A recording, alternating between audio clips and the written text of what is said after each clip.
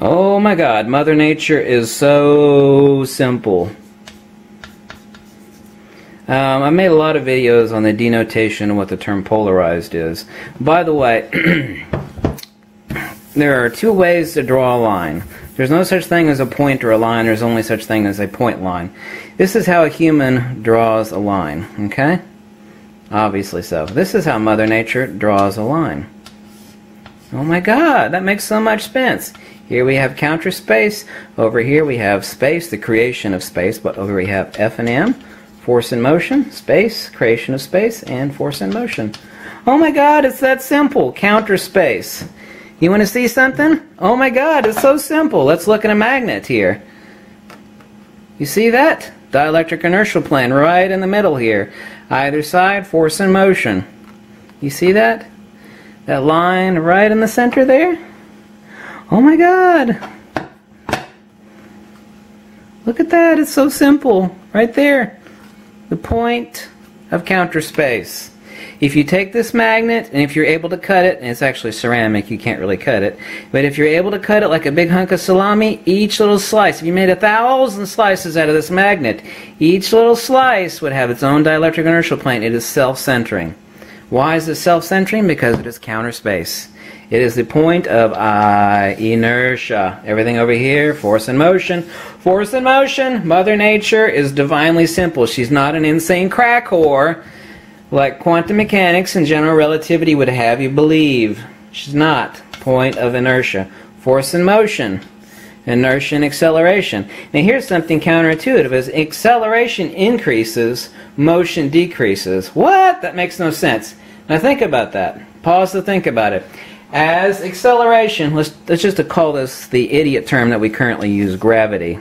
Okay? It's no different than dielectric acceleration, dA, dielectric acceleration. But our idiots, we call it gravity. Increasing acceleration equals decreasing force and motion. Do you get it now? That makes no sense. Increasing acceleration is decreasing motion. Oh my god, I get it now. Oh, Mother Nature is so simple. It's so simple. Why didn't they teach this crap to you in school? Because we don't get it. We're still living in the Stone Age intellectually especially when it comes to field theory. Stone Age. Every branch of science throughout history, 50 years ago, 100, 200, 300, 400, no matter when you go, they all thought the crap was right. Today is no different. We're technologically advanced and we're intellectually freaking morons. Well, some of us are. Most of us are anyway. You don't understand a damn thing. We just don't. Space, just as Tesla said, and he was correct, has no attributes. Space is neither a field nor a force. It acts on nothing and it does nothing. Let's use a really simple, stupid analogy to make things really simple. I love little simple demonstrations. What are we talking about when we talk about inertia? Well, you saw the center of the magnet, right? Dielectric inertial plane. Oh, God, it stuck to the table. Dielectric inertial plane. You saw that? That thin line right in the middle? Yes? Dielectric inertia. Everything over here is force and motion. Everything over here is force and motion. You're actually measured with a Gauss meter. It's very simple. They have the centrifugal point of divergence, max here, mediocre here, really tight here. You can see this underneath a ferrocell. I can't, yes, this tattooed fat asshole in front of you, well, not in front of you, is the first person in the world to figure out how a magnet works and what magnetism is. What is inertia? What is force and motion? What is space? Let's just make it really, really simple. Let's see if you can figure it out. Inertia, the loss of inertia. Let's assume this is inertia. Let's assume, remember our uh, magnet? The dielectric inertial plane of the magnet? Right? Let's see if I can zoom out here. Let's zoom out. Dielectric inertial plane of the magnet. What happens with the loss of inertia? This is the dielectric inertial plane. Just assume that this is infinitely thin to the point of zero. What happens with the necessitated loss of inertia? Oh my god. That makes so much sense. What is the necessary byproduct of the loss of inertia. Do you see all these voids between these inertial points which are reciprocating across the middle? They're reciprocating to the center, reciprocating centrifugally, then returning centripetally, centrifugal, centripetal, divergence, convergence. What is happening as the loss of inertia occurs? Okay, we're releasing inertia. What happens? Oh, what is what is between these points of reciprocating loss of inertia? Oh my god, that's space. You can't reify space as something that does something. It's like reifying a shadow. A shadow is not a subject, it is an attribute. What is a shadow? It is the absence of light. A shadow does nothing. Well, you could say, well, a shadow makes you cold, a shadow keeps you. A shadow is absence. Space is the posterior attribute of the loss of inertia. Oh my god, that kind of makes sense. It seems so logical. Why, yes, it is. All these reciprocating points of inertia, which actually are circular, you can see it underneath the Faro ferrocell. So simple. The loss of inertia necessitates the creation. So no, it's no different than saying that uh, eating, you know, you feed a horse a giant bucket of something, it's going to take a big shit of something. It's the necessitated attribute of something else, a posterior principle which is defining itself in attribution. There is no such thing, here's the principle of the entire universe. There is no such thing as any principle that doesn't have an attribute. What do I mean by that? Light and illumination are an inseparable singular entity. Okay? You cannot differentiate out light from illumination. You cannot differentiate out inertia from the reciprocative loss of inertia. It's actually defined by equation I discovered 12 years ago. It's an expression 1 over 5 to the power of negative 3. It is very simplex. It is very design, divine. I've proven it underneath the ferrocell, the actual geometry of magnetic reciprocation, the, uh, the, uh, the, the, the phase shift of the poles. You have rarefaction on the North Pole and compression on the South Pole. I showed it to you in the seed experiments. Remember the seed experiments videos? This is no different. Think of this as infinitely small, the dielectric inertial plane of a magnet, as I just showed you prior. What happens with the loss of inertia as it must necessarily reciprocate? Space is a posterior attribute. What Einstein and general relativity has done is they reified the horse shit as having to do with the horse. No, it is the posterior attribute of the goings on, the actual attributional print, the actual attribution of the principle. What does it mean, the attribution of the principle? It means there's no difference between defining light and what light does, light and illumination. The Greeks call this the aoristos dyas. The aoristos dyas. Um, in the ancient Egyptians, they call it ahorismos. Is the indefinable attribute which has no quantity. It is only the attributional quality of what something does, which is indifferentiate from what it is. It sounds really so complicated. I mean, you can spend thousands and thousands of pages of text talking about uh, this principle alone, but it's just so simple.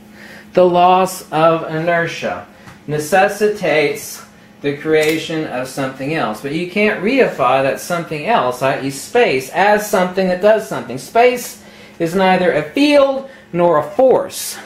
It acts on nothing and it does nothing. Okay? We can't reify a shadow as something unto itself. It's a posterior attribute of the absence of illumination. We talk about light and shadows. A shadow has no. This is the same thing with emptiness. Emptiness is nothing. There is no such thing as emptiness. It's a qualifier of something else. These are all human conceptual reifications. The huge ones space and emptiness. Neither one of these exists. Neither one of these exists. Something X is empty of Y. Okay? This is a qualifier. Space is a qualifier too. Space is the absence of inertia. It's the posterior attribute of the reciprocation of inertia. Neither space nor emptiness exist. They're illusions. They're the holographic projecta. They're the phantasms of existential existence. They talk about an atom being 99.9999% empty space, and then if all the space inside every atom was removed, the Earth would be something like the size of a marble or smaller. It'd probably be actually a lot smaller than that. But it's not space. It is the reciprocation of the dynamis inside of an atom which is releasing and reciprocating out magnetism. Magnetism, Faraday had it right. He didn't he never explained what a magnet was or what magnetism is, but he was so close, and nobody has come closer uh, for those many, many decades ago than Faraday. He said that magnetism is the dielectric field. I don't know if you know who Faraday was. Most people do that are into field theory or electrical theory. They know who Faraday was. But he called it the dielectric field, which is exactly what it is. The loss of dielectric inertia as expressed by force and motion as magnetism reciprocates from either side. You can see this underneath the ferrocell. You can see it. I wished every one of you people could hold a ferrocell in your hand and actually see. It's like less than one micron thin, and yet you can see almost four inches of depth. The actual hypertrochoidal, reciprocating precessional hyperboloid, that's copyright mine, by the way, 2014. You know, the reciprocating precessional hyperboloid that expresses itself necessarily as a uh, as a hypertrochoidal pattern is simplex pressure mediation. I mean, as a little child, do you remember having a bubble wand and the end of it of the bubble wands, the really fancy one, they'd have a square hole and they'd have a round hole and they'd have like a triangular hole and you dip this crap in the bubble stuff. And of course it doesn't matter which hole you blow it out of, blow the sun, it doesn't matter which hole you blew, you'd end up with a round bubble, right? Pressure mediation, simplex. Matter if you're blowing the soapy film crap out of the square, the round, or the triangular hole, you can end up with a round bubble, right? You remember that crap as a child? Same thing with a magnet. Doesn't matter if this magnet is square, triangular, circular. There's all sorts of freaky ass shapes that a magnet can be cast into. But the field underneath the ferrocell will be as exactly as I predicted. Exactly the same. It is always the same. It has to be the same. It's no different than the old plumber's motto that the water flows downhill. It's simplex pressure mediation of a field. But a field has no quanta. Okay? There is no quantity in a field.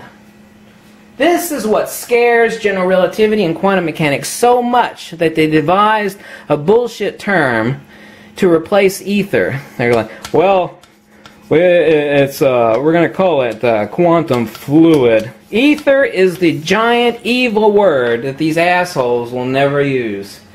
It's just, it's the most evil word in the world to them. Just bring up the word ether. You can feel, you can hear their sphincter pucker.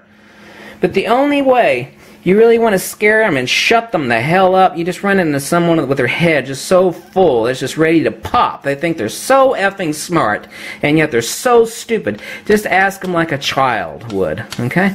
Sir, can you define this one word? No! They will never define it.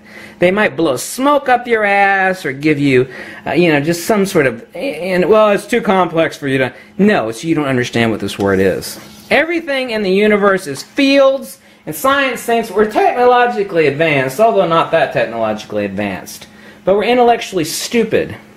Okay, we've invented a whole lot of crap because we know how to recreate things, we know how a lot of things work, but we can't explain them. Okay, descriptions are not explanations. And everything in the universe is this fields. Quantum mechanics, general relativity, and current science has never defined this word. Never an explanation for this word. This is how you scare the piss out of these assholes that think they're so smart. Just ask them to define this word. It's like, no, no, no, no, no. You gave a description. I want an explanation, asshole. Explain this word. Okay? They can't do it. Not even to save their own life could they ever define this word. Explain it, excuse me. Anyway, thanks for watching and catch you later.